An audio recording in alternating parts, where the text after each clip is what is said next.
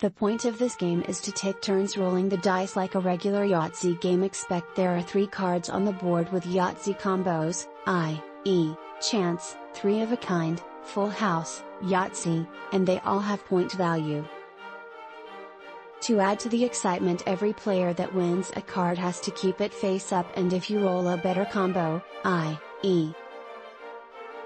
3 of kind with 2, 2, 2, 5, 6 total 17, can be stolen by 4, 4, 4, 3, 5 total 20, also you place chips on the 3 cards in play if a player is unable to get a card or if they steal a card that are worth 1 point apiece, chips cannot be stolen.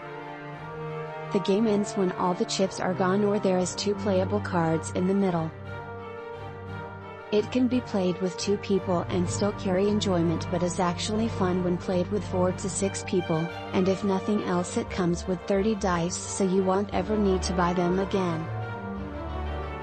The concept is the same, 3 rolls to get as many of one die as possible or straights or a full house or 3 or 4 of a kind but instead of keeping individual scores with pencil and paper, players compete to earn cards, each with different point values depending on the difficulty of achieving the roll. Yahtzee cards are the most valuable, followed by large straight, and on down the line, chance cards are highly valued. Before playing the game myself, I assumed it was designed to be a frantic competition where everybody is rolling at the same time. It's not.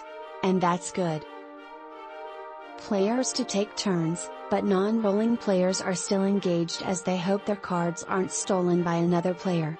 The game comes with 30, yes, 30 dice.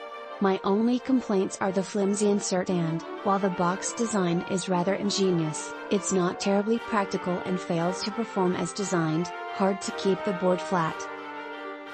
Click link in description for more reviews.